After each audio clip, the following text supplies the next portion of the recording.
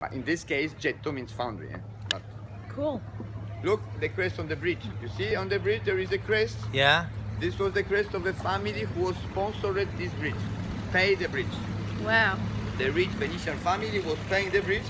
They won't show it to everybody they was paying the bridge. They put her family sign on the bridge, the crest. A crest. So this was always a Jewish area? Not only from there where we start. Uh-huh. This ghetto is finished now here.